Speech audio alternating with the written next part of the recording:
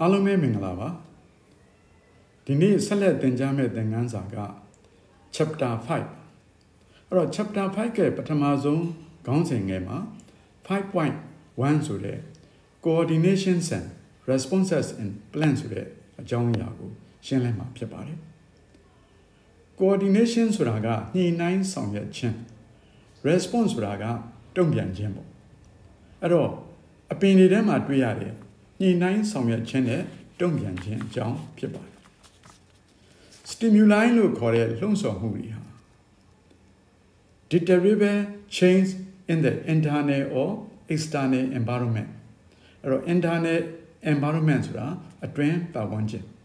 external environment ဆိုတာအပြင်ပတ်ဝန်းကျင်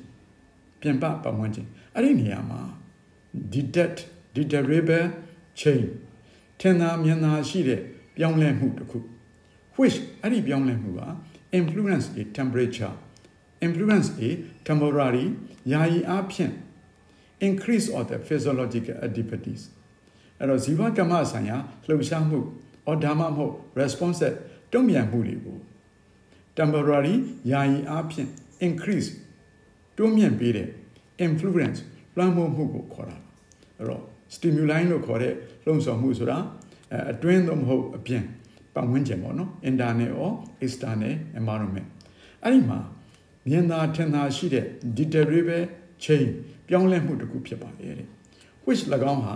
influence လွှမ်းမိုးပါ a temporary increase of physiological activities ဇီဝကမ္မဗေဒဆိုင်ရာလှုပ်ဆောင်မှုဒါမှမဟုတ်တုံ့ပြန်မှုတွေရဲ့နော်ဘယ်မှာတွေ့မှာလဲဆိုတော့ in the whole plant တပင်လုံးမှာတွေ့ ဒါမှမဟုတ်ရင် any part of the plant အပင်ရဲ့အစိတ်အပိုင်းတစ်ခုခုမှာတွေ့မှာအဲ့တော့အဲ့ဒီအပင်တပင်လုံးမှာပဲဖြစ်စီအပင်ရဲ့အစိတ်ပိုင်းတစ်ခုခုမှာဖြစ်စီအဲ့ဒီဇီဝကမ္မဆိုင်ရာလှုပ်ရှားမှု physiological activities ဒါမှမဟုတ် response အဲ့ဒီတုံ့ပြန်မှုတွေကို temporary increase ယာယီတွန်းမြင့်ပေးတဲ့အချက်လက်တွေကို stimuli လွှမ်းမိုးမှုလို့ခေါ်တာပါ in the plants အပင်တွေထဲမှာ there are two types နှမျိုးရှိပါတယ်တဲ့အဲ့တော့အဲ့ဒါတွေကတော့ internal stimuli လို့ခေါ်တဲ့အတွင်းဘက်လှုံ့ဆော်မှုနဲ့ external stimuli လို့ခေါ်တဲ့ပြင်ပလှုံ့ဆော်မှုဖြစ်ပါတယ် the responses to external stimuli or environmental changes အဲ့တော့ responses တုံ့ပြန်မှုတစ်ခု external stimuli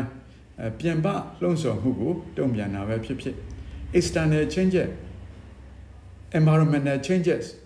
ပြင်ပပတ်ဝန်းကျင်ရဲ့ပြောင်းလဲမှုတွေကိုတုံ့ပြန်တာပဲဖြစ်ဖြစ်အဲ့တော့အဲ့တုံ့ပြန်မှုတွေက produce လုပ်ပေးပါတယ် by the workings of various organ အမျိုးမျိုးသောအင်္ဂါအစိတ်ပိုင်းတွေရဲ့ဆောင်ရွက်ခြင်းဒီနေရာမှာ in a systematic စနစ်တကျဒါမှမဟုတ်ရင်လည်း control ထိန်းချုပ်ပြီးတော့ known as coordination အဲ့တော့ဒီနေရာမှာစနစ်တကျထိန်းချုပ်ခြင်းညောင်ဖြစ်ပေါ်လာတဲ့ပြင်ပလှုံ့ဆော်မှု ဒါမှမဟုတ်ပတ်ဝန်းကျင်ပြောင်းလဲမှုတွေရဲ့တုံ့ပြန်ခြင်းကိုညှိနှိုင်းဆောင်ရွက်ခြင်းလို့ခေါ်ပါတယ်ညှိနှိုင်းဆောင်ရွက်ခြင်းဆိုတာက responses တခုပါဘယ်သူကို respond လုပ်မှာလဲဆိုတော့ external stimuli ပြန်ပလှုံ့ဆော်မှုတွေကိုဒါမှမဟုတ်ရင် environmental change ပတ်ဝန်းကျင်ဆိုင်ရာတုံ့ပြန်မှုတွေအဲ့တော့ပြန်ပလှုံ့ဆော်မှုသို့မဟုတ်အဲ့ပတ်ဝန်းကျင်ဆိုင်ရာပြောင်းလဲမှုတွေအဲ့တော့ that are produced by the workings of various organs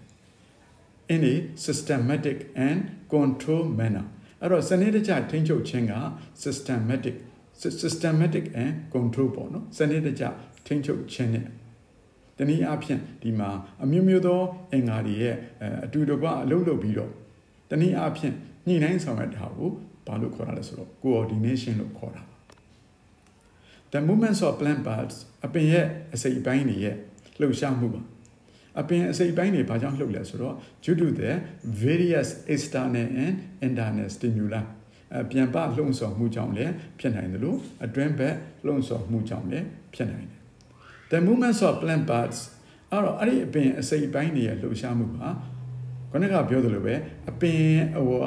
အပင်ရဲ့အပြင်မှာရှိနေတဲ့လုံဆော်မှုကြောင့်ဖြစ်တယ်လို့အပင်ရဲ့အထက်မှာရှိနေတဲ့လုံဆော်မှုလည်းဖြစ်နိုင်ပါတယ်ဒီနေရာမှာဒီနှစ်ကြောင်းကတူတူပါပဲထပ်သွားလို့ external stimuli လို့ခေါ်တဲ့ပြင်ပလှုံ့ဆော်မှုကိုကြည့်ခဲ့မယ်ဆိုရင်ပြင်ပလှုံ့ဆော်မှုဖြစ်တဲ့အတွက်ကြောင့်အပင်ရဲ့ခန္ဓာကိုယ်အတွင်းရမဟုတ်ဘဲနဲ့အပြင်အဖြစ်သော water ရေကြောင့် gravity ရေဆွဲအားကြောင့် light intensity and duration light intensity ဆိုတာအလင်းရောင်ရဲ့အပြင်အားအရန်နေပူနေတာလားဒါဆိုရင်အလင်းရောင်များမယ်ဒါမှမဟုတ်ရင်လည်းမိုးအုပ်နေတာလားဒါဆိုရင်အလင်းရောင်နည်းမယ်အဲအဲ့ဒီမှာလဲ duration ဆိုတဲ့ အချိန်အတိုင်းတာလည်းရှိပါသေးတယ်အလင်းရောင်တောက်ပသောအလင်းရောင်ချိန်တာများတာလားမိုးအုပ်တဲ့ကာလများတာလားပေါ့နော်ဒီလိုဟာမျိုးကို light intensity and duration လို့ခေါ်တာနောက်တစ်ခုက chemicals လို့ခေါ်တဲ့ဓာတုပစ္စည်းတွေ temperature လို့ခေါ်တဲ့အပူချိန်တွေနဲ့ touch အထိတွေ့တွေအားလုံးကပြန်ပလှုံ့ဆော်မှုလို့ခေါ်တာပါဒါဆိုရင်အဲ့ဒီမှာ internal stimuli ပြန်အတွင်းဘက်လှုံ့ဆော်မှု အတွင်းဘက်လှုံ့ဆော်မှုကိုနောက်တနည်းအားဖြင့် internal control အတွင်းဘက်ထိန်းချုပ်မှုလို့လည်းခေါ်တာပေါ့သူတို့တွေကတော့ဘယ်သူတွေဖြစ်လဲဆိုတော့ဓာတုပစ္စည်းတွေဖြစ်ပါတယ်အဲ့တော့ဓာတုပစ္စည်းတွေကအတွင်းဘက်လှုံ့ဆော်မှုဒါမှမဟုတ်ရင်အတွင်းပိုင်းထိန်းချုပ်မှုအဲ့ဒါကိုဘာလို့ခေါ်လဲဆိုတော့ဟိုဓာတုပစ္စည်းကြောင့်ဖြစ်တာဓာတုပစ္စည်းဆိုတာလည်းတနည်းအားဖြင့်အပင်ဟော်မုန်းပါပဲဒါဆိုရင်အပင်ဟော်မုန်းလို့ခေါ်တဲ့ called plant hormone အပင်ဟော်မုန်းလို့ခေါ်တဲ့ chemical လို့ခေါ်တဲ့ဓာတုပစ္စည်းတွေက internal stimuli or internal control တွေကိုပြုလုပ်တာဖြစ်ပါတယ်အဲ့တော့အတွင်းပိုင်းနှုံဆော်မှုလို့ခေါ်တဲ့ internal stimuli တွေအော်ဒါမှမဟုတ် internal control လို့ခေါ်တဲ့အတွင်းပိုင်းထိန်းချုပ်မှုတွေဟာအဲ့ဒါတွေကိုဘယ်သူကလုပ်ထားလဲဆိုတော့ call the plant hormone အပင်ဟော်မုန်းလို့ခေါ်တဲ့ဓာတုပစ္စည်းတွေကနေပြုလုပ်ခြင်းဖြစ်ပါတယ်အဲ့တော့ plants အပင်တွေဟာ lack a nervous system in like animal အပင်တွေကသရဝါတွေလိုနတ်ကြောအာယုံကြောစနစ်မရှိဘူး ဒါပေမဲ့လည်းပဲ they can sense သူတို့အာယုံခံစားနိုင် things around them သူတို့ပတ်ဝန်းကျင်ကအရာတွေကိုအာယုံခံစားနိုင်တယ်လို့ respond to them သူတို့ကိုလည်းတုံ့ပြန်နိုင်ကြတယ် that's ဒါကြောင့်မို့ coordination and response in plan အပင်ဒီထဲမှာရှိနေတဲ့ coordination လို့ခေါ်တဲ့ညှိနှိုင်းဆောင်ရွက်မှုနဲ့ response လို့ခေါ်တဲ့တုံ့ပြန်ဆောင်ရွက်မှုတွေ ဟာ and undertaken by plant hormone အဘသူတွေကလောက်ထားလဲဆိုလို့ရှိရင်အပင်ဟော်မုန်းတနည်းအားဖြင့်အပင်ဟော်မုန်းကို plant growth regulator အပင်ရဲ့ကြီးထွားမှုကိုထိန်းချုပ်သောအရာဒါမှမဟုတ်ရင်တိုက်ရိုက်ခေါ်ရင် phytohormone လို့ခေါ်တဲ့ဒီအပင်ဟော်မုန်းတွေကဆောင်ရွက်ပါတယ်ဘသူတွေကိုလည်း coordination လို့ခေါ်တဲ့ညှိနှိုင်းဆောင်ရွက်ခြင်းတွေ responses လို့ခေါ်တဲ့တုံ့ပြန်မှုတွေက in plants အပင်တွေထဲမှာရှိခဲ့မယ်ဆိုရင်အဲ့ဒီအပင်တွေထဲမှာရှိနေတဲ့ညှိနှိုင်းဆောင်ရွက်ခြင်းတွေတုံ့ပြန်ခြင်းတွေဟာ undertaken by ဘသူကြောင့်ဖြစ်ရတာလဲဆိုတော့ဘသူအောက်မှာဖြစ်ရတာလဲဆိုတော့ plant hormone အပင် hormone ကြောင့်ဖြစ်တာအပင် hormone ကိုတနည်းအားဖြင့် plant growth regulators လို့လည်းခေါ်ပါတယ်အပင်ရဲ့ကြီးထွားခြင်းကိုထိန်းချုပ်သောအရာလို့ခေါ်ပါတယ်တိုက်ရိုက်ခေါ်ရင်တော့ phytohormones ပေါ့ဒါကြောင့်မို့ plants အပင်တွေသည် can respond တုံ့ပြန်တယ် do their environment သူတို့ရဲ့ပတ်ဝန်းကျင်အခြေအနေကို in various way နည်းမျိုးစုံနဲ့အပင်တွေဟာပတ်ဝန်းကျင်ကိုတုံ့ပြန်နေကြတယ်အဲ့တော့ဒီနေရာမှာ these plants အဲ့ဒီအပင်တွေဟာ respond တုံ့ပြန်အဲ့တော့အပင်တွေရဲ့တုံ့ပြန်မှုက have evolved ထွက်ပေါ်လာဘာဖြစ်လို့အပင်တွေရဲ့တုံ့ပြန်မှုဖြစ်လာလဲဆိုတော့ because they provide the plant with some types of some types of ဒီနေရာမှာ selective advantages လို့ခေါ်တဲ့အဲဘယ်လိုခေါ်မလဲဟိုပုံမကောင်းမွန်တဲ့ရွေးချယ်ထားတဲ့ပုံမကောင်းမွန်တဲ့အခြေအနေမှာအပင်တွေကနေပံ့ပိုးပေးတဲ့တနည်းအားဖြင့်အပင်တွေကနေထုတ်ပေးနေတဲ့အကြောင်းတွေအဲ့တော့အဲ့ဒီမှာအပင်တွေဟာတုံ့ပြန်တယ်အပင်ရဲ့တုံ့ပြန်မှုကထွက်ပေါ်လာတယ်။ဘာကြောင့်လဲ။သူတို့တွေကအပင်တွေဟာ some types of selected advantages လို့ခေါ်တဲ့အဲသူတို့မှာဟိုလိုက်လျောညီထွေဖြစ်အောင်ပြုလုပ်ပေးတဲ့ ပံ့ပိုးပေးတဲ့အရာတွေရှိတဲ့အတွက်ကြောင့်ဒီနေရာမှာအဆင့်ဆင့်ပြောင်းလဲမှုတွေဖြစ်ပေါ်လာတယ်လို့ပြောတာအဲ responses have evolved အမှတုံ့ပြန်မှုတွေပေါ်လာတယ်ဥပမာပြောမယ်ဆိုရင်ဒီနေရာမှာဘာကိုပြောမလဲဆိုတော့အဲ making them သူတို့ကိုလုပ်ပြီး better adapted ပိုကောင်းတဲ့အနေအထား to survive ရှင်သန်အောင်ဒါမှမဟုတ်မျိုးပွားနိုင်အောင် in their environment အဲသူတို့ရဲ့ပတ်ဝန်းကျင်မှာရှင်သန်ဖို့သူတို့ရဲ့ပတ်ဝန်းကျင်မှာမျိုးပွားဖို့အတွက်ပုံမကောင်းမွန်တဲ့ adapted to survive ရှင်သန်ဖို့အတွက် better adapted ပိုကောင်းမွန်တဲ့အဲလိုက်လျောညီထွေဖြစ်မှုတွေဖြစ်လာခဲ့မယ်ဆိုရင် making them better adapted လိုက်လျောညီထွေဖြစ်အောင်ပြုလုပ်ပေးခဲ့မယ်ဆိုရင်အဲ့ဒီအပင်တွေကတုံ့ပြန်မှာပေါ့အဲ့တုံ့ပြန်မှုတွေဟာ provide the plant with the some types of ဒီနေရာမှာ selected advantages လို့ခေါ်တယ်ပို့ပြီးတော့အဲရွေးချယ်နိုင်တဲ့အကျိုးကျေးဇူးတွေပေါ့ ပတ်ဝန်းကျင်မှာတွေ့ကြုံလာတဲ့အရာတွေကိုတုံ့ပြန်ရင်းနဲ့အပင်တွေဟာပုံမကောင်းမွန်သောအနေအထားကိုလိုက်လျောညီထွေရွေးချယ်နိုင်တယ်လို့ပြောတာပါ The environmental stimuli to which plant အဲ့တော့အဲ့ဒီအပင်တွေတုံ့ပြန်တဲ့ which plant response အပင်တွေတုံ့ပြန်တဲ့ environmental stimuli လို့ခေါ်တဲ့ပြင်ပပတ်ဝန်းကျင်ဆိုင်ရာလှုံ့ဆော်မှုတွေဟာဘာတွေဖြစ်နိုင်လဲဆိုတော့ abiotic လည်းဖြစ်နိုင်တယ် biotic လည်းဖြစ်နိုင်တယ် အဲ့တော့ abiotic stress လို့ခေါ်တဲ့အဲတက်ရှိနဲ့ဆိုင်တဲ့ဖိစီးမှုအဲ abiotic stress လို့ခေါ်တဲ့တက်မဲ့နဲ့ဆိုင်သောဖွဲ့စည်းမှုတွေ biotic stress လို့ခေါ်တဲ့တက်ရှိနဲ့ဆိုင်တဲ့ဖိစီးမှုတွေတနည်းအားဖြင့်တက်မဲ့ဆိုင်ရာအကြောင်းတွေတက်ရှိဆိုင်ရာအကြောင်းတွေအဲအဲ့ဒီဟာနဲ့ဆိုင်တဲ့အကြောင်းတွေဟာ environmental stimuli ပြင်ပကလှုံ့ဆော်တဲ့အရာတွေဖြစ် အဲ့တော့အပင်တွေကိုလှုံ့ဆော်ပြီးဆိုရင်ပြင်ပကလာခဲ့မယ်ဆိုရင်သူဒီ abiotic stress လည်းဖြစ်နိုင်တယ်လို့ biotic stress လည်းဖြစ်နိုင်တယ်အဲ့တော့အပင်ရဲ့ပတ်ဝန်းကျင်ကအပင်ရဲ့အပင်ရဲ့ပတ်ဝန်းကျင်မှာဖြစ်လာတဲ့လှုံ့ဆော်မှုတွေ the environmental stimuli ပတ်ဝန်းကျင်ကလာတဲ့ stimuli တွေအပင်ကိုဘာဖြစ်ပေါ်စေလဲဆိုတော့တုံ့ပြန်အောင်လုပ်ပေးတဲ့တနည်းအားဖြင့် abiotic stress ဖြစ်နိုင်တယ်လို့ biotic stress တက်ရှိတဲ့ဆိုင်တဲ့ဖိစီးမှုတွေဖြစ်နိုင်တယ်လို့ တတ်မဲ့နဲ့ဆိုင်သောဖိစီးမှုတွေလည်းဖြစ်နိုင်တယ် example os plant response အဲ့တော့အပင်တွေရဲ့တုံ့ပြန်မှုကိုဥပမာပေးရမယ်ဆိုရင်ဒီအပြင်ကဖြစ်လာတဲ့ abiotic တော်၎င်း biotic တော်၎င်းတနည်းအားဖြင့်တက်မဲ့ဆိုင်ရာအကြောင်းတော်၎င်းတက်ရှိဆိုင်ရာအကြောင်းတော်၎င်းအဲအဲ့ဒီကောင်တွေကိုတုံ့ပြန်တဲ့အပင်တွေရဲ့တုံ့ပြန်မှုမှာဘာတွေပါလဲဆိုတော့ tropisms လို့ခေါ်တဲ့သူကြိုက်လို့ကွေးသွားတာပေါ့နော်တစ်ဖက်ဖက်ကိုတင်းညွတ်သွားတာဒါတင်းညွတ်ရွေရှားခြင်းလို့ခေါ်တယ် အလင်းရှိရင်အလင်းကိုဘက်ကိုကွေးသွားမှာပေါ့အလင်းကိုကြိုက်ရင်ပေါ့ဒါမှမဟုတ်ရေရှိရင်ရေကြရင်ရေဘက်ကိုကွေးသွားမှာပေါ့အဲဒါကိုရေဘက်တို့အလင်းဘက်တို့အဲသူဥတီယာတစ်ခုခုသူကြိုက်တဲ့ရာတစ်ခုခုကိုတင်းညွတ်သွားခြင်းအဲ့ဒီဘက်ကိုကွင်းညွတ်သွားခြင်းကို tropisms လို့ခေါ်တာနောက်တစ်ခုက responses to touch အထီးအတွေ့ကိုသူကြိုက်နေတဲ့လို့တုံ့ပြန်တာမျိုးဖြစ်မယ်နောက်တစ်ခု response to အာ herbivore ဆိုတာဒီအပင်ကိုစားတဲ့အကောင်တွေကိုတုံ့ပြန်တာမျိုးဖြစ်နိုင်တယ်လို့ response to abiotic stress လို့ခေါ်တဲ့အဲတက်မဲ့ဆိုင်ရာဖိစီးမှုတွေကိုတုံ့ပြန်တာလည်းဖြစ်နိုင်ပါတယ်နောက်တစ်ခုက chapter 5က5.2 plant growth and development လို့ခေါ်တယ်အပင်ကြီးထွားမှုနဲ့ဖွံ့ဖြိုးတိုးတက်မှုအကြောင်းဖြစ်ပါတယ် အဲ့တော့ plant growth and development ဆိုတာအပင်တွေရဲ့ကြီးထွားမှုနောက်တစ်ခု development ဒီနေရာမှာကြီးထွားမှုလို့ခေါ်တဲ့ growth နဲ့ development လို့ခေါ်တဲ့ဖွံ့ဖြိုးမှုကနည်းနည်းကွဲပြားပါတယ် There are various types of tissue present in plants အဲ့တော့အပင်တွေထဲမှာပါဝင်တဲ့ various types of tissue tissue အမျိုးမျိုးရှိကြတယ် အပင်တွေထဲမှာ tissue အမျိုးမျိုးရှိတယ် which အဲ့ဒီ tissue တွေက occupy specific location throughout their body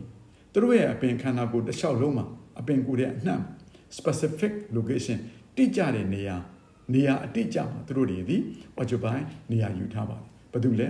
various types of tissue present in a plant အပင်တွေထဲမှာပါတဲ့အမျိုးမျိုးသော tissue တွေဒီ occupy နေရာယူတယ် specific တိကျသော location နေရာ throughout their body အပင်ခန္ဓာကိုယ်တစ်လျှောက်လုံးမှာသူတို့တွေဟာသူတို့ရဲ့ tissue ပုံသဏ္ဍာန်ပေါ်မှာမူတည်ပြီးတော့သူတို့ရဲ့ tissue အမျိုးအစားအမျိုးမျိုးပေါ်မှာမူတည်ပြီးတော့နေရာတိတိကျကျနေရာလေးတွေမှာနေရာယူထားကြပါတယ် these tissue အဲ့ဒီ tissue တွေမှာ different structures and functional aspect အဲ့တော့အဲ့ဒီ tissue တွေမှာကြီးထွားခြင်းလို့ခေါ်တဲ့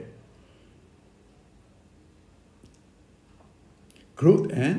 development လို့ခေါ်တဲ့ဖွံ့ဖြိုးမှု အဲ့တော့ကြီးထွားမှုနဲ့ဖွံ့ဖြိုးမှုတို့မှာမတူညီတဲ့တိဆောက်ဖို့ different structures and function နဲ့အဲ့တော့မတူညီသောလုပ်ငန်းဆိုင်ရာ aspect ဆိုတာတွင်ပြင်ပေါ့အဲ့တွင်ပြင်လက္ခဏာတွေအမျိုးမျိုးရှိပါတယ် these တို့မှာအဲ့ဒီ tissue တွေမှာ have ရှိကြတယ် different မတူညီသော structures and function နဲ့အဲတိဆောက်ပုံဆိုင်ရာလုပ်ငန်းတာဝန်ဆိုင်ရာ aspect like growth and development သူတို့ရဲ့ကြီးထွားခြင်းအတွက်ကြည့်မလားဖွံ့ဖြိုးမှုအတွက်ကြည့်မလားအဲ့ဒီနေရာမှာမတူညီသောတိဆောက်ပုံနဲ့လုပ်ငန်းဆိုင်ရာအတွက်တွင်ပြင်လက္ခဏာအမျိုးမျိုးတ िश ူးတွေမှာမတူညီသောဖွံ့ဖြိုးမှုမတူညီသောကြီးထွားမှုအဲအဲ့ဒီဟာတွေမှာခုနကမတူညီတဲ့တိဆောက်ပုံတွေမတူညီတဲ့လုပ်ငန်းဆိုင်ရာတွင်ပြင်လက္ခဏာတွေအမျိုးမျိုးရှိကြပါတယ် growth in general ရေဘူးရအဖြစ်ပြောမယ်ဆို is considered as an increase in size of the object ယေဘူးယအနေနဲ့ပြောမယ်ဆိုရင် increase in size အရွယ်အစားတိုးပွားလာခြင်းဟာတနည်းအားဖြင့်ပါလဲဆိုတော့ of the object အရာဝတ္ထုတစ်ခုရဲ့ increase in size အရွယ်အစားတိုးပွားလာခြင်းကရေဘူးရအဖြစ် group ကြီးထွားခြင်းဆိုပြီးတော့ယူဆလို့ရတယ် group လို့ခေါ်တဲ့ကြီးထွားခြင်းကရေဘူးရအဖြစ်တော့ consider ဘယ်လိုစဉ်းစားနိုင်လဲဆိုရင် as an increase in size of object အရာဝတ္ထုတစ်ခုရဲ့အရွယ်အစားကြီးမားတိုးတက်လာခြင်းလို့ယူဆလို့ရတာပေါ့ the process of development organ အဲ့တော့ development လို့ခေါ်တဲ့ဖွံ့ဖြိုးမှု process လုပ်ငန်းစဉ်ကိုတော့ organ တွေ့ရပါတယ် in an order fashion within the single diploid cell ဘာလို့ခေါ်လဲ zygote အဲ့တော့ဖွံ့ဖြိုးတိုးတက်မှုအစီအစဉ်ဟာ zygote လို့ခေါ်တဲ့တရေဥလို့ခေါ်တဲ့ single diploid cell အဲဒွိဂုံ cell တစ်ခုထဲမှာ within a single diploid cell ဒွိဂုံ cell တစ်ခုထဲမှာအဲ့တော့ in ordered fashion ဆိုတာစနစ်တကျအစီအစဉ်တကျဖြစ်နေတာကိုပြောချင်တာပါတွေ့ရတယ်ပေါ့နော် organ တွေ့ရတယ်ဘာလို့လဲ development အဲ့တော့ဖွံ့ဖြိုးမှုဖြစ်စဉ်က ဘာမှတွေ့မလဲဖွံ့ဖြိုးလာပြီဆိုကြတဲ့ကဒီဇိုက်ကုတ်ကနေစပြီးတော့တတိဥကနေစပြီးတော့ဒီနေရာမှာဒွိဂုံဆဲတစ်ခုအတွင်းအတွင်းမှာစနစ်တကျပုံပေါ်လာတဲ့ and in an order fashion ဆိုတာစနစ်တကျအစီအစဉ်တကျပုံဖော်လာတာချင်းကိုတနည်းအားဖြင့် development ဖွံ့ဖြိုးတိုးတက်တယ်လို့ပြောလို့ရပါတယ် it ၎င်းဟာ grow through the various types of mitotic division အဲ့ဒီဖွံ့ဖြိုးတိုးတက်ခြင်းက mitotic ဆဲကွဲခြင်းပုံသဏ္ဍာန်နဲ့ တစ်ချောက်လုံးဆက်ဖြစ်နေပါလိမ့်မယ် the cell produce after such division အဲ့လို mitotic cell နဲ့ဆဲကွဲပွားပြီးနောက် produce after အဲ့ကွဲပွားပြီးနောက်ထုတ်ပေးလိုက်တဲ့ cell တွေဟာ differentiated to give ဒီနေရာမှာ request requisite ဆိုတာလိုအပ်သောသတ်မှတ်ထားသောအဲ tissue တနည်းအားဖြင့်ဆဲကွဲပွားပြီးနောက်ထုတ်ပေးလိုက်တဲ့ cell တွေဟာ mitotic ဆက်ကွဲမယ်ဆက်ကွဲပြီးနောက်ထုတ်ပေးလိုက်တဲ့ cell တွေဟာလိုအပ်သော tissue များကိုကွဲပွားကြဒီနေရာမှာအဲ requisite ဆိုတာလိုအပ်သောပေါ့တနည်းအားဖြင့်သတ်မှတ်ထားသောပေါ့ဘယ်နေရာအတွက်ကဘယ် tissue တွေသတ်မှတ်ထားမယ်ဆိုရင်အဲ့ဒီနေရာမှာကွဲပွားပေးတဲ့ tissue တွေဒီဒီလိုအမျိုးအစားပဲနောက်တနေရာမှာကြပြန်တော့လေတနေရာရဲ့လိုအပ်ချက်တနေရာရဲ့သတ်မှတ်ချက်ရလေဒီနေရာမှာသူတို့ဟာ mitotic နီးနဲ့တနည်းအားဖြင့်ဆဲကွဲပွားပေးကြတယ် အဲ့တော့အခုဆက်ပြောမယ့်ဟာကတော့ growth ပါ growth ဆိုတာကြီးထွားမှု growth can be defined ကြီးထွားမှုကိုဘယ်လိုအဓိပ္ပာယ်သတ်မှတ်နိုင်လဲဆိုတော့ in an irreversible increase in size အဲ့တော့ size ဆိုတာအရွယ်အစား increase တိုးပွားခြင်းက irreversible အနောက်ပြန်မဆုတ်သွားဘူးဘယ်တော့မှပြန်လျော့မသွားဘူးဘာမှတွေ့မှာလဲဆိုတော့ individual cells or organ or its part အဲ့တော့သက်ရှိတစ်ခုဒါမှမဟုတ်အစိတ်ပိုင်းတစ်ခုအဲ့ဒီသက်ရှိ ဒါမှမဟုတ်ကိုရင်းအင်္ဂါဒါမှမဟုတ်အဲ့ဒီအစိတ်ပိုင်းတွေမှာရှိနေတဲ့ size အရွယ်အစားရဲ့တိုးပွားခြင်းဟာ increases အဲ့တော့ဗာဈေးပဲနောက်ထပ်ပြန်ပြီးတော့နောက်ပြန်ဆုတ်မသွားတဲ့အရာကို growth လို့ကြီးထွားမှုဆိုပြီးတော့ define အဓိပ္ပာယ်သတ်မှတ်နိုင်ပါတယ် this ၎င်းဟာအဲ့ဒီကြီးထွားမှုက increases တိုးပွားလာတဲ့ဖြစ်စဉ်ဟာ organ ဘာမှတွေ့ရမလဲဆို reserves of all the metabolic activity ဘယ်သူကြောင့်ကြီးထွားမှုတွေဖြစ်လာလဲဆိုတော့ metabolic activities လို့ခေါ်တဲ့ဇီဝတွင်ဖြစ်ပျက်မှုအလုံးရဲ့ရလဒ်တစ်ခုကဲ့သို့ဖြစ်လာအဲ့တော့ metabolic activity ဆိုတာဖြစ်မယ်ပြက်မယ်အဲ့တော့အဲ့ဒီဖြစ်ပျက်မှုအလုံးရဲ့ရလဒ်တစ်ခုကဲ့သို့ increase တိုးပွားမှုတွေဖြစ်လာတာအဲ့တော့ these activities အဲ့ဒီလှုပ်ဆောင်မှုတွေက make လုပ်ပါတယ် use of the energy obtained by nutrition ဘာနဲ့လုပ်လဲဆိုတော့စွမ်းအင်နဲ့လုပ်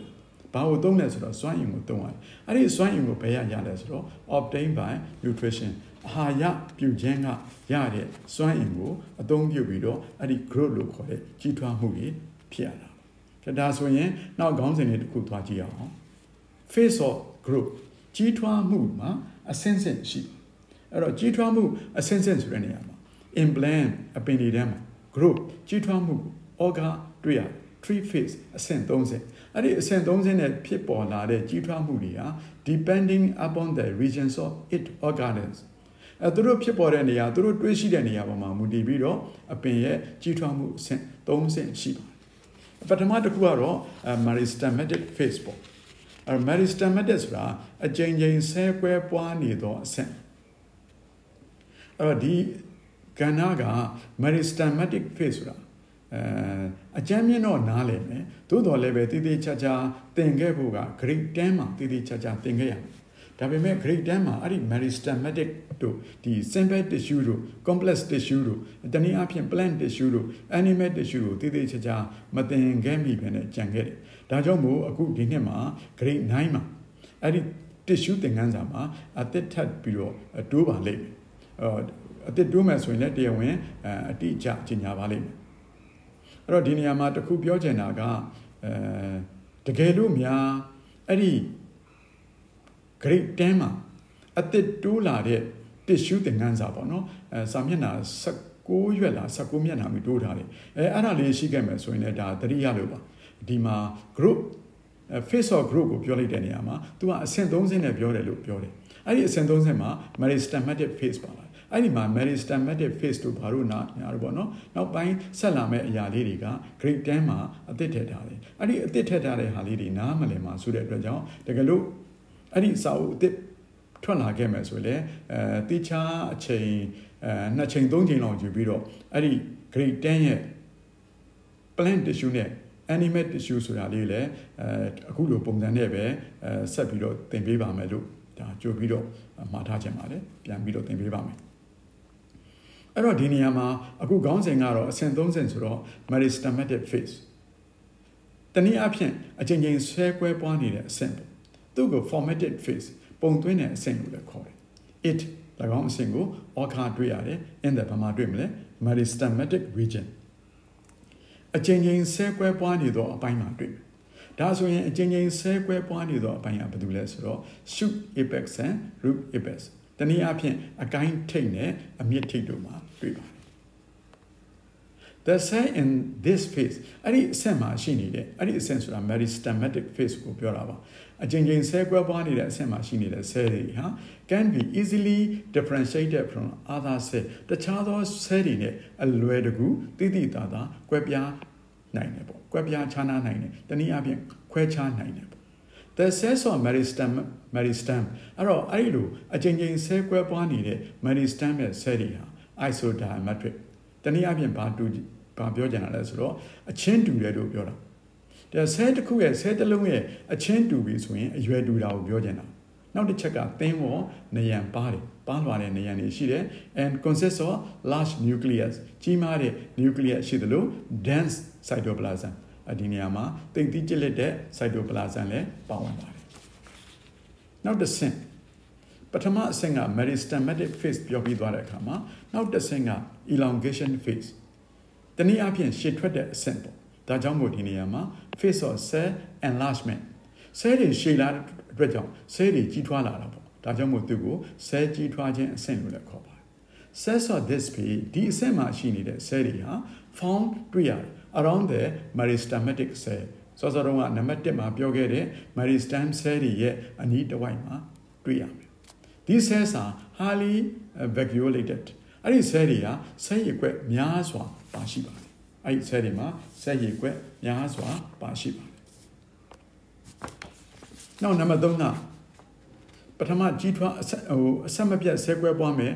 အဲဒုတိယရှေ့ထွက်လာမယ်ဆိုရင်အတတိယအဆင့်က maturation phase လို့ခေါ်တဲ့ရင့်မာတဲ့အဆင့်ရင့်မာတဲ့အဆင့်ဆိုတာ a phase of cell maturation and differentiation cell တွေရင့်ကျက်သွားတာ တနည်းအားဖြင့် differentiation ရုပ်သွင်းကွဲပြားသွားတဲ့အဆင့်ကိုပြောပါပြောတာပါ cells of this way ဒီအဆင့်မှာရှိနေတဲ့ cells တွေဟာ undergo ဆက်လက်ပြီးတော့ structural and functional differentiation အဲ့တော့ဒီနေရာမှာတိဆောက်ပုံလို့ခေါ်တဲ့ structure မှာရော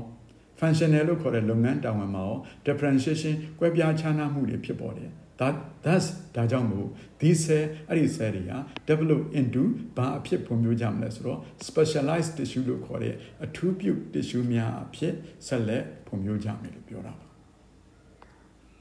နောက်ခေါင်းစဉ်ငယ်လေးကတော့ conditions for growth ဒီလိုကြီးထွားမှုအတွက်အခြေအနေတွေပေါ့ the conditions require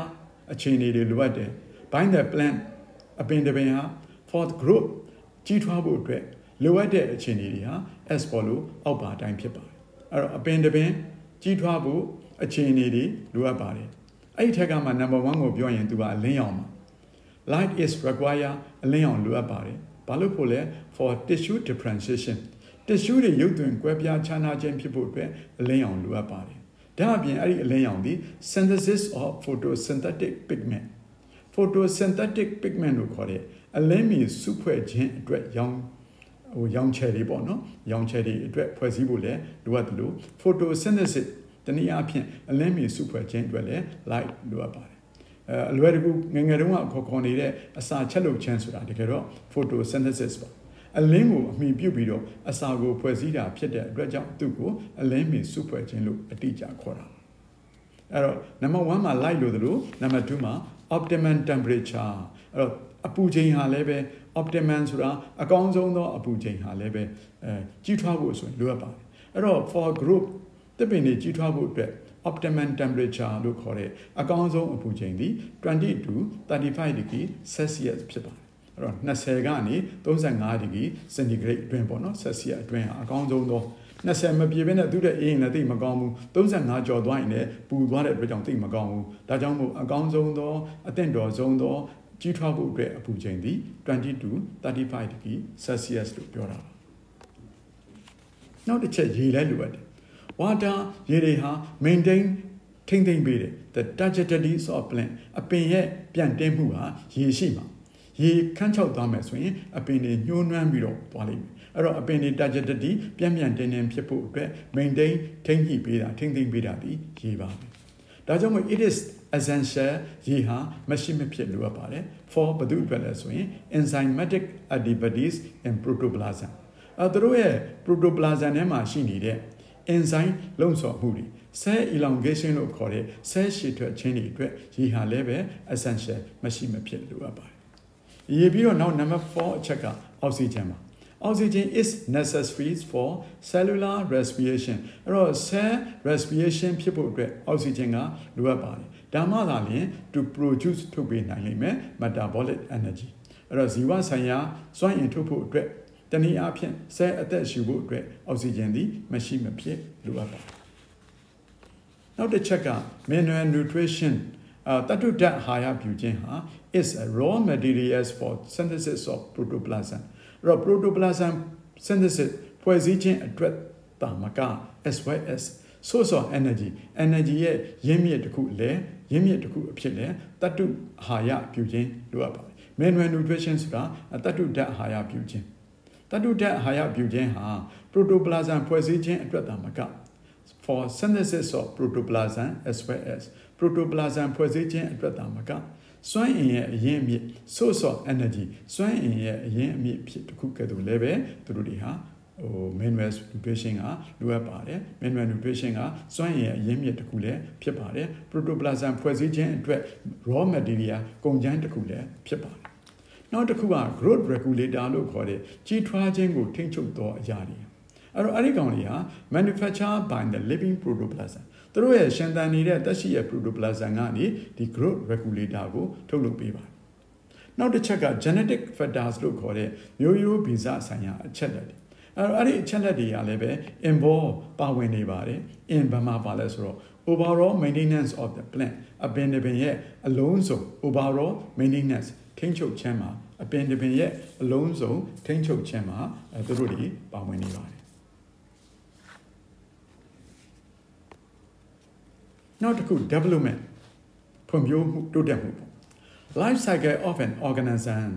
သက်ရှိတစ်မျိုးရဲ့ဘဝဆောင် life cycle ထဲမှာ consist of ပါဝင်ပါတယ်။ဘာတွေပါလဲဆိုတော့ sequence of changes အဲ့တော့ပြောင်းလဲမှုတွေရဲ့အစီအစဉ်စနစ်တကျပါဝင်ပါတယ်။ဘာမှလဲတက်ရှိတွေရဲ့ life cycle ထဲမှာဖွေရှာသူတို့တွေဟာ collectively အားလုံးကိုစုပေါင်းပြီးတော့ core ဘာလို့ခေါ်လဲဒီသက်ရှိရဲ့ပြောင်းလဲမှုအစီအစဉ်တဆင်ပြီးတဆင်စနစ်တကျတိုးတက်ဖွံ့ဖြိုးလာမှုတွေကိုဘာမှတွေ့မလဲဆိုတော့ဘဝဆောင်မှာတွေ့အဲ့ဒီကောင်တွေအားလုံးကိုစုပေါင်းပြီးတော့ core development ဖွံ့ဖြိုးတိုးတက်မှုလို့ခေါ်တာ အ during the development အဲ့လိုဖွံ့ဖြိုးမှုဖြစ်နေစဉ်အတော်အတွင်းမှာ structures and functions of organ organ ဆိုတာအတွင်းအင်္ဂါပဲဆိုပါစို့အဲ့ဒီအတွင်းအင်္ဂါဒါမှမဟုတ် cell တွေရဲ့ structure လို့ခေါ်တဲ့ဖွဲ့စည်းပုံတွေ function လို့ခေါ်တဲ့လှုပ်ဆောင်မှုတွေဟာ changes ပြောင်းလဲမှုတွေဖြစ်လာပါတယ်အဲ့တော့ development ဖြစ်လာပြီဆိုရင်ဒီ organ တွေလို့ခေါ်တဲ့အတွင်းအင်္ဂါတွေရဲ့ structure တွေတိဆောက်ပုံတွေ function လုပ်ငန်းတာဝန်တွေဟာလည်းပဲ changes ပြောင်းလဲရပါတယ် အဲ့တော့အဲ့ဒီထက်မှာ it involves အာ၎င်းမှာ involve ဘာတွေပါဝင်လဲဆိုတော့ switch switch ဆိုတာတကယ်တော့မိခလုတ်ခလုတ်တစ်ခုကိုပြောတာပါပဲဒါပေမဲ့ဒီနေရာမှာတော့ကူပြောင်းခြင်းလို့ပြောတယ် it ၎င်းမှာ involve in switch ကူပြောင်းခြင်းတစ်ခုပါဝင်ပါဘယ်လိုကူပြောင်းတာလဲမိခလုတ်တစ်ခုခလုတ်ပိတ်လိုက်တယ်မှောင်သွားမယ်ခလုတ်ဖွင့်လိုက်တယ်လင်းသွားမယ်ဆိုပါစို့ဒါဒီအမှောင်နဲ့အလင်းကိုကူပြောင်းတာ ခလုတ်ပိတ်လိုက်တယ်ဆက်ရက်သွားမယ်ခလုတ်ဖွင့်လိုက်တယ်ဆက်လဲတယ်ဆိုပါစို့ဒါဒီအဲတနည်းအားဖြင့်အခြေအနေတစ်ခုကိုကူပြောင်းသွားတာအဲ့တော့အဲ့လိုကူပြောင်းမှုအဆင့်က one developmental phase of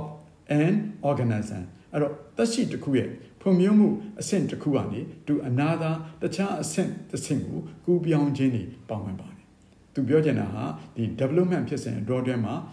switch လို့ခေါ်တဲ့ကူးပြောင်းမှုပါဝင်တယ် ကူးပြောင်းမှုဆိုတဲ့နေရာမှာ one developmental phase အဲ့တော့ဒီနေရာမှာဖွံ့ဖြိုးမှုဆိုင်ရာအဆင့်တစ်ဆင့်သက်ရှိရဲ့ဖွံ့ဖြိုးမှုဆိုင်ရာအဆင့်တစ်ဆင့်ကနေနောက်တစ်ဆင့်သို့ကူးပြောင်းသွားခြင်းတွေလည်းပါဝင်တယ်လို့ပြောတာပါနောက်ခေါင်းစဉ်ငယ်တစ်ခုကတော့ plant growth regulators ပေါ့အပင်ရဲ့ကြီးထွားမှု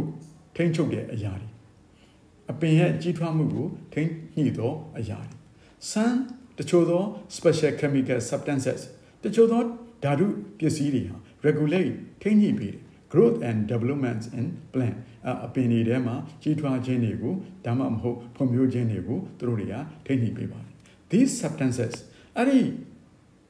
ပစ္စည်းတွေဟာ level ကောဘာလို့ခေါ်လဲဆိုတော့ plant hormone လို့ခေါ်တယ်ဒါမှမဟုတ်ရင် phyto hormone လို့ခေါ်တယ်အဲ့တော့အပင်ဟော်မုန်းမဲ့ခေါ်ခေါ် phyto hormone မဲ့တက်ရိုက်ပြောပြောအဲ့ဒါတွေကဓာတုပစ္စည်းတွေ အဲ့ဒီဓာတုပစ္စည်းကအပင်တွေထဲမှာရှိနေတဲ့ကြီးထွားမှုလို့ခေါ်တဲ့အဲ growth နဲ့ development လို့ခေါ်တဲ့ဖွံ့ဖြိုးမှုတွေကိုသူတို့တွေကထိန်းညှိပေးတယ်။ဘယ်သူကထိန်းညှိပေးလဲဆိုတော့ဒီနေရာမှာအပင်ဟော်မုန်းပေါ့နော် plant hormone ဒါမှမဟုတ်ရင်လည်းသူ့ကို phyto hormone လို့ခေါ်တာပေါ့။အဲ့ဒီအရာတွေကထိန်းညှိပေးပါတယ်။ a plant hormone အပင် hormone တစ်ခုဟာတကယ်တော့ဘာဖြစ်လဲဆိုတော့ is an organic compound organic ဓာတ်ပေါင်းတစ်ခုပါပဲတဲ့ it is ၎င်းကို synthesized in one part of the plant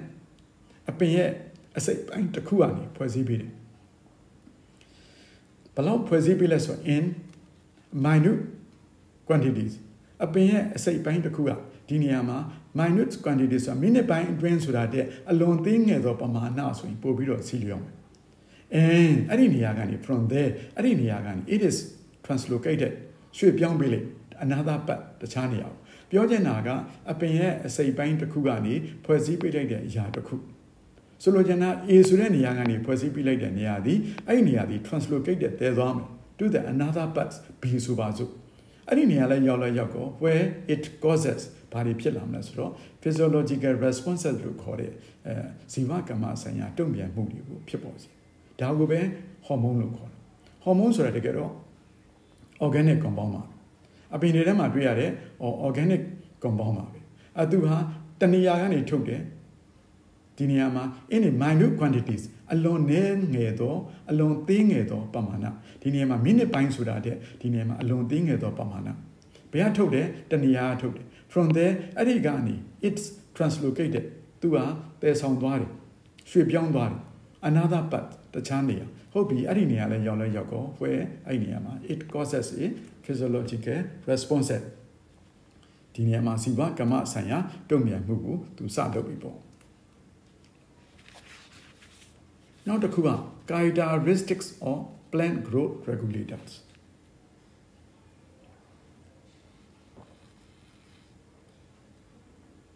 အပင်ကြီးထွားမှုကိုထိန်းညှိပေးတဲ့အရာတွေရဲ့ characteristic ဝိသေသလက္ခဏာ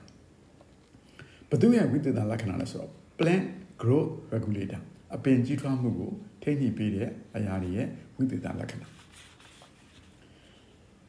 ဒီနေရာမှာပြောချင်တာ phytohormone လို့ခေါ်တဲ့အပင်ဟော်မုန်းအပင်ဟော်မုန်းတွေဟာ essential organic compound မရှိမဖြစ်အရေးပါတဲ့ organic ဓာတ်ပေါင်းတွေဖြစ်တယ်အဲ့ဒီ organic ဓာတ်ပေါင်းတွေက require လိုအပ်တဲ့ in very small quantities အပင်တွေက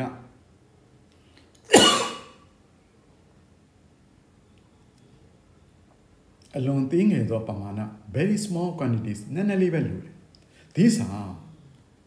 အဲ့ဒီ phytohormone တွေက generally synthesize ရေဘူးရအဖြစ်ဖွဲ့စည်းမယ်ဘယ်နေရာမှာဒီ phytohormone တွေကိုဖွဲ့စည်းမလဲဆို epithets or roots အမြင့်ကထိတ် stem ပင်စီရဲ့ထိပ် leaves အရွက်တွေထဲမှာဖွဲ့စည်းကြမယ်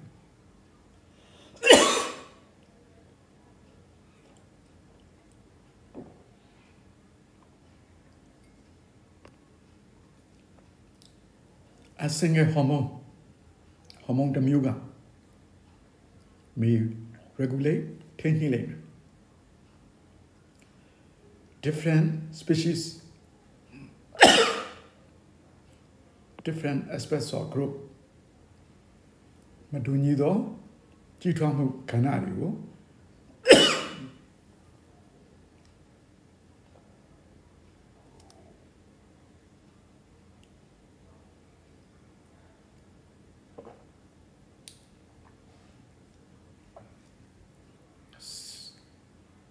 စင်ကဟော်မုန်းလို့ခေါ်တဲ့ဟော်မုန်းတစ်ခုက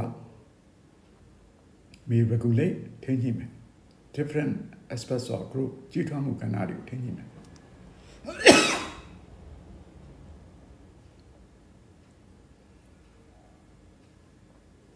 their synthesis သူတို့တွေရဲ့ဖွဲ့စည်းခြင်းက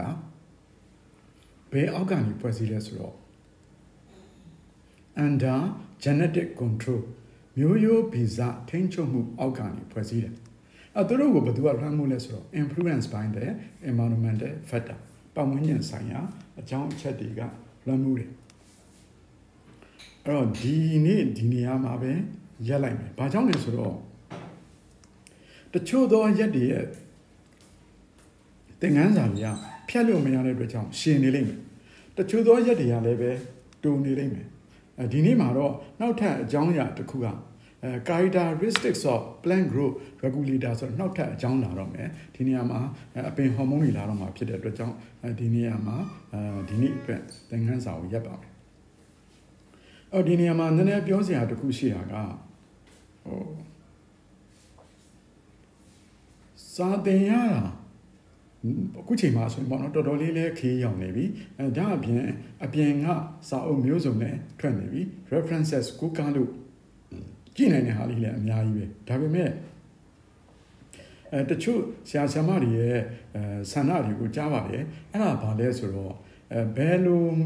မိကုံမျိုးဟာမေးနိုင်တယ်ဘယ်လိုမိကုံမျိုးဟာမမေးနိုင်ဘူးအဲဒါထက်ပိုပြီးတော့ဘယ်လိုမိကုံမျိုးဟာငါးမှတ်တန်မေးမလားလေးမှတ်တန်မေးမလားဘယ်လိုမိကုံမျိုးဟာအဲဆမှတ်တန်မေးမလားရှစ်မှတ်တန်မေးမလားဆိုတဲ့ဟာမျိုးကိုပိုသိကျင်ကြတယ်အဲအဲ့ဒါကိုဆရာတို့လည်းပြောကျင်တယ်ဒါပေမဲ့ ပြဋ္ဌာန်းစာအုပ်ထဲမှာပါလာတဲ့မိကုံးပုံသဏ္ဍာန်ဒီတော်တော်ကိုအတီဖြစ်နေတယ် grade 10မှာလည်းဒီပုံစံတိုင်းမဲ့သွားတယ် grade 11မှာလည်းဒီပုံစံတိုင်းသွားတယ်ဒါပေမဲ့ဒီနွေရာသီတုန်းကလုတ်လိုက်တဲ့ဒီ grade 12သင်ခန်းစာတွေကိုသင်တဲ့နေရာမှာအဲတရားဝင်ဆိုပါစို့ဒီမှာမေကုံးပုံစံတစ်ခုထွက်လာတယ်အဲ့ဒီမေကုံးပုံစံကအဲနှစ်မှတ်တန်မပါတော့ဘူးလေးမှတ်တန်ကငါးမှတ်တန်ဖြစ်သွားတယ် ရှစ်မှတ်တန်ကဆယ်မှတ်တန်ဖြစ်သွားတယ်အဲ့တော့ကျောင်းသားဒီစာမကျက်အောင်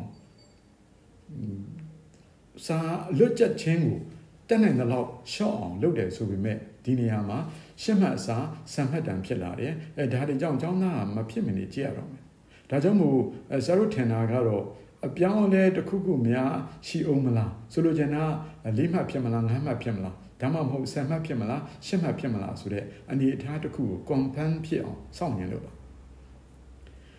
ဘာကြောင့်လဲဆိုတော့ခုချိန်မှာပြောလိုက်တဲ့ဟာဒီလေးမှတ်လို့ပြောလိုက်တဲ့ဟာဒီတကယ်လို့များအဲစာမွေးမေဘွန်စနစ်မှာငါးမှတ်တန်ဖြစ်သွားရင်အဲသူကအနည်းဆုံးတစ်ကြောင်းနှစ်ကြောင်းတော့လူနေလိမ့်မယ်တနည်းအားဖြင့်ငါးမှတ်မတန်မဲနဲ့လေးမှတ်စာဖြစ်နေလိမ့်မယ်ပေါ့နော်တကယ်လို့များဒီမှာဆံမှတ်တန်ပြောလိုက်ရင်လည်းပဲဥမာအကြောင်းအရာဒီတမျက်နာရှိမယ်ဆိုပါစို့ ဒါပေမဲ့မိဘပုံသဏ္ဍာန်ကရှစ်မှတ်လုပ်လိုက်တဲ့အခါမှာဒီဟာဒီဘလို့မှရှစ်မှတ်မတန်မဲ့နဲ့ဆက်မှတ်တန်ဖြစ်တဲ့အတွက်ကြောင့်တိတိကျကျပြောလို့မရသေးတဲ့အတွက်ကြောင့်အခြေအနေတစ်ခုကိုစောင့်နေတာပါအဲအဲ့ဒါပြီးသွားတဲ့အခါမျိုးမှာတေးတေးချာချာရပြီဆိုရင်အဲ့ဒီပုံမှာလည်းဘယ်နေရာကနေဘယ်နေရာအထိဒီအဲ short question ဖြစ်နိုင်ပါတယ်ဘယ်နေရာကနေဘယ်နေရာအထိဟာ long question ဖြစ်နိုင်ပါတယ်အဲ long question ချင်းတူရင်တောင်မှဒီလို long question မျိုးကပို့ပြီးတော့ အဲចောင်းသားចောင်းသူအများစုအတွက်ပို့ပြီးတော့လေးထားတဲ့နဲ့ဒီဟာတွေကတော့နည်းနည်းလေးအဆင့်မြင့်နဲ့ရှုပ်ထွေးတာဖြစ်တဲ့အတွက်ကြောင့်သူ့ကိုတော့နည်းနည်းလေးဒုတိယဦးစားပေးထားတဲ့နဲ့ဆိုတဲ့ဟာလေးတွေကိုသူဒီချာချာပြောမှာပါနော်ဒါဆိုရင်ဒီနေ့သင်ခန်းစာကိုဒီနေရာမှာပဲရန်နာလိုက်ပါမယ်